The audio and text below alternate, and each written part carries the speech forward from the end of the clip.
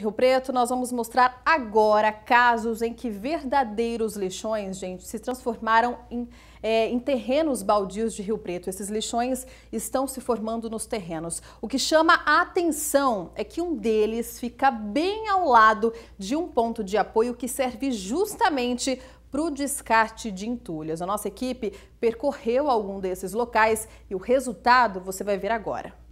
Quem passa por essa rua no Jardim Bosque da Felicidade em Rio Preto se impressiona com a quantidade de lixo jogada neste local. Em meio aos materiais descartados de forma incorreta, tem de tudo, de móveis a embalagens vazias. Situação que preocupa quem mora aqui perto. Tem medo da dengue, porque a gente tem criança e se, se o mosquito vier, vai, muita gente vai parar no hospital rapidinho. Nessa área entre os bairros Lealdade e Amizade, região leste da cidade, a situação é ainda mais complicada. Tem até pneu com água parada no meio dos entulhos.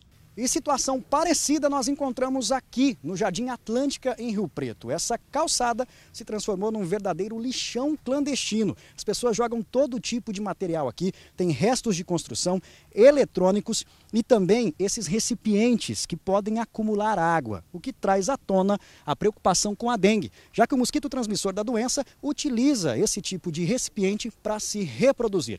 Mas o que chama mais atenção ainda é que essa área, utilizada para o descarte desses entulhos, fica aqui, ó, bem próximo desse ponto de apoio. Um local que é exatamente criado para descarte desse tipo de material. Em toda a cidade existem 15 espaços como este. Aqui podem ser descartados materiais de pequenos geradores. Os pontos de apoio recebem desde restos de construção a eletrônicos e móveis usados.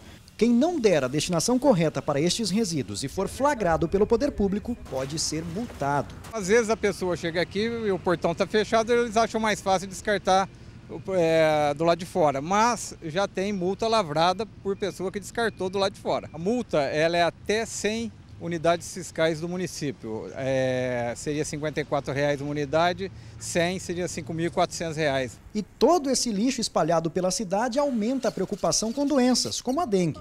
Segundo o levantamento do índice de Bretô, o nível de infestação das larvas do mosquito transmissor da doença no município é o mais alto da série histórica, 6,7. Enquanto a maioria faz o descarte de forma incorreta, o José Carlos percorre a cidade recolhendo material que pode ser reaproveitado em meio a esses entulhos. Dessa forma, além de complementar a renda, ele ajuda a amenizar o problema que não existiria se cada um fizesse a sua parte. Algumas coisas que não vende, a gente vê com água, a gente toma com o pé, né? A gente que sabe, cada dengue, né? Mas, felizmente, tem muitos que não pensam assim, né? É, ainda de acordo com o secretário de Serviços Gerais da Prefeitura de Rio Preto, quem flagrar alguém jogando lixo e entulho nesses locais proibidos pode ligar para o 153, que é o telefone da Guarda Municipal.